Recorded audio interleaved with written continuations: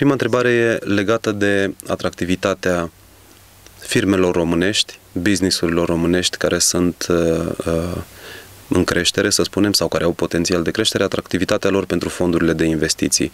E o, un context economic mai dificil în toată Europa, nu doar în România, cu uh, accente particulare pentru România, evident, pentru regiune, putem spune.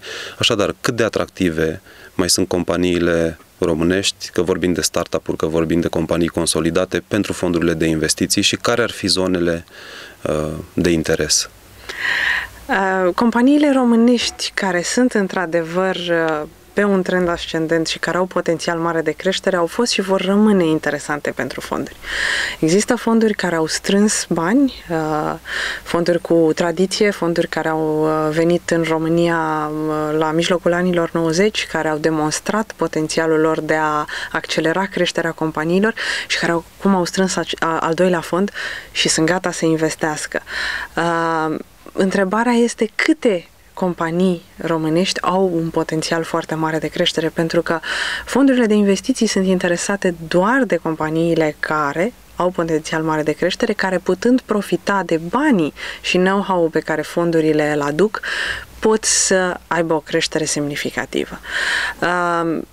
Cred că e foarte important ca antreprenorii români să valorifice potențialul pe care uh, parteneriatul cu private equity-ul îl uh, implică, să încerce să profite de uh, elementele nu numai de finanțare, dar și de valoarea adăugată care rezultă din rețeaua fondurilor, din expertiza lor, din abilitatea lor de a-i ajuta, de exemplu, cu manageri din rețelele lor internaționale, Uh, și interesul antreprenorilor pentru creștere este, este esențial.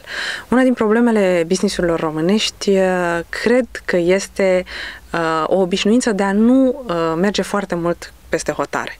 Businessurile care au potențial de expansiune, dacă nu uh, globală, măcar regională, cred că sunt uh, foarte interesante pentru fonduri și antreprenorii care vor să se extindă pot profita foarte mult de, de rețelele pe care fondurile le au Uh, care, le pot sprijini, care îi pot sprijini să crească. Unde credeți că s-ar, în, în ce domenii s-ar găsi aceste uh, business-uri cu vocație uh, expan, expansionistă, să spunem, da, care să iasă peste hotare? Uh, care ar fi domeniile? Pentru că trebuie să recunoaștem, sunt destul de puține branduri, companii românești care au, uh, care au răzbit în afară. A, recunosc că nu m-aș hazarda să identific domenii.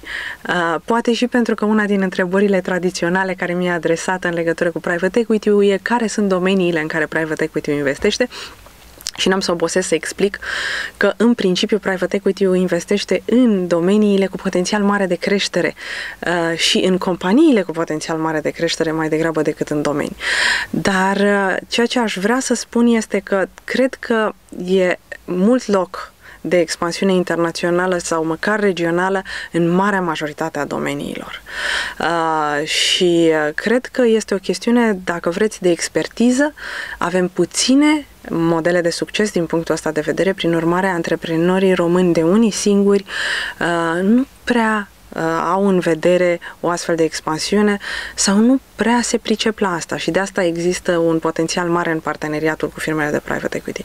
Dacă ne gândim la brandurile românești uh, care sunt cunoscute peste hotare, din păcate ele nu mai aparțin în marea lor majoritate a antreprenorilor. Sigur, cu excepții notabile, de exemplu Bitdefender-ul mă face foarte mândră atunci când mă duc în Silicon Valley pentru că pot să spun, uite, sunt din țara lui Bitdefender și atunci uh, lumea înțelege de unde vin. Uh, dar din păcate exemplele de tipul ăsta nu sunt foarte răspândite. Acum, Mie îmi place mult o anecdotă uh, pe care o povestește cu mult har uh, un mare dirijor uh, din Statele Unite, Ben Zander. Și el vorbește despre uh, doi vânzători de, de pantofi care sunt catapultați pe o insulă nou descoperită să evalueze potențialul pieței.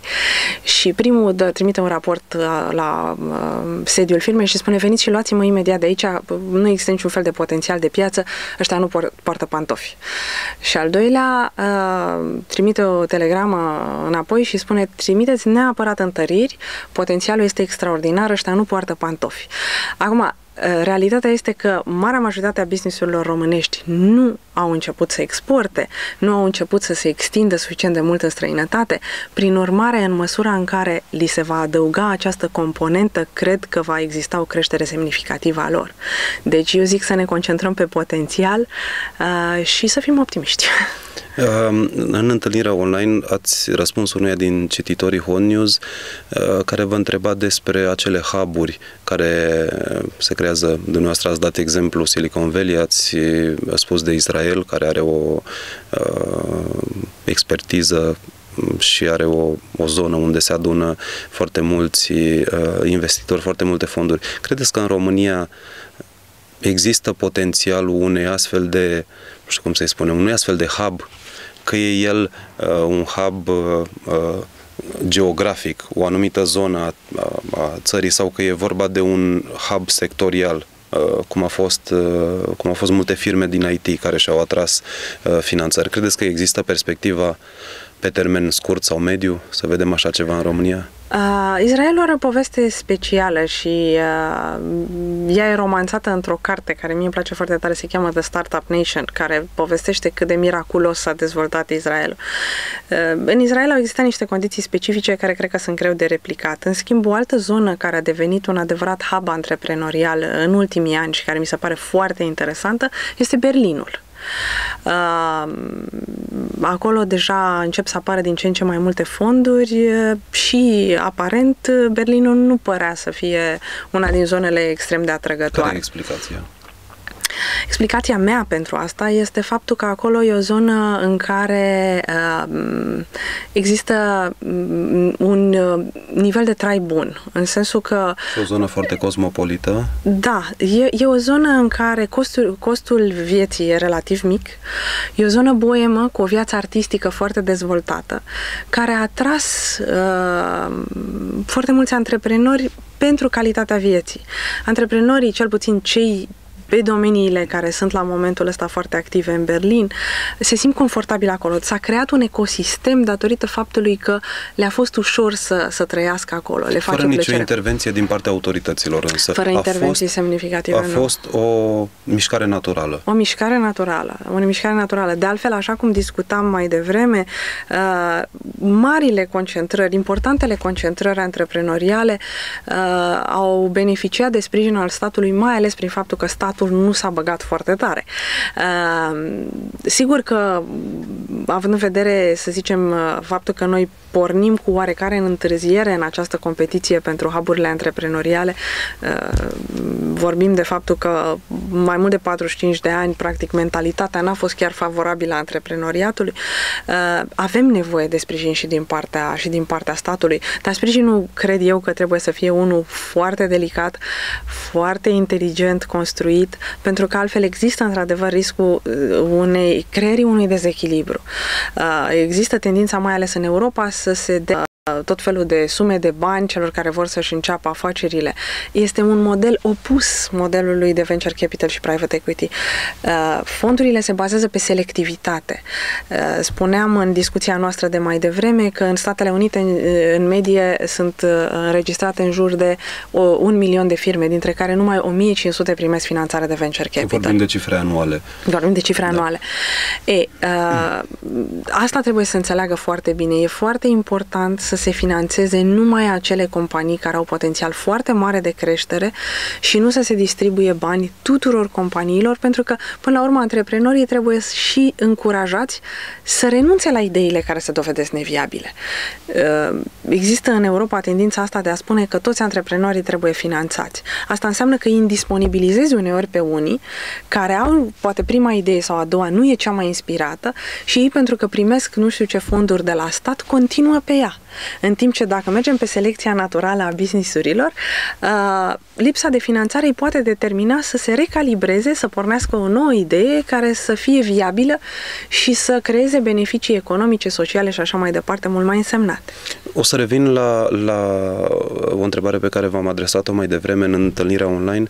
Uh, credeți că hub-ul tehnologic de la Măgurele, dacă acolo vom avea lansarea acelui laser de mare putere, uh, care inevitabil va atrage multă, mult creier, multă inteligență, să spun așa. Credeți că aceea ar putea fi o zonă, o, o, o, o, o simțiți uh, cu, cu flerul de business pe care îl aveți, o simțiți ca o zonă care ar putea să atragă uh, investitori? Uh, cred că proiectul de la Măgurele, uh, din ce știu eu despre el, are o componentă semnificativă de finanțare europeană. Uh, în același timp, prezența uh, și concentrarea creierelor cred că va reprezenta o oportunitate de creare a unor alte companii care ar putea atrage finanțare. Deci, într-adevăr, cred că poate să catalizeze apariția unui, unui hub în zona respectivă și pe nișa respectivă și mi-aș dori foarte tare să se întâmple asta.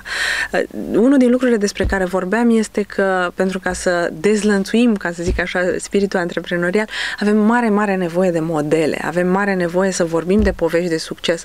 Uh, povesteam de evenimentul ăsta pe care Asociația Fondurilor de Private Equity și Venture Capital îl face pe, pe 28 uh, iunie. Ne-am străduit să facem două lucruri cu el. Primul, să aducem expertiza fondurilor uh, în accelerarea creșterii businessurilor la îndemâna antreprenorilor și a consultanților în creștere. Uh, și al doilea lucru, să vorbim despre povești de succes. Avem drept invitați uh, unul din venture capitaliștii importanți uh, din lume care a investit printre altele în Yandex, motorul de căutare rusesc despre care vorbeam care a făcut o cotare pe, pe Nasdaq absolut spectaculoasă. Încă o dată, o companie din estul Europei, al, al doilea mare IPO din lume după Google anul trecut pe Nasdaq. Uh, avem un fost CEO de la Louis Vuitton Maletie și Samsonite care vorbește despre partea de retail și vorbește de povești de succes uh, pe, pe, pe un alt domeniu de business. Uh, avem antreprenori locali puternici, cum este, de exemplu, Florin Talpeș, că vorbeam de Bitdefender, Radu Georgescu, Radu Timiș, Camelia Șucu. Adică am încercat să facem un mix de expertiză pură uh, cu uh, inspirație, pentru că e extraordinar de important să ne uităm la poveștile noastre de succes și să vedem ce se poate învăța din ele.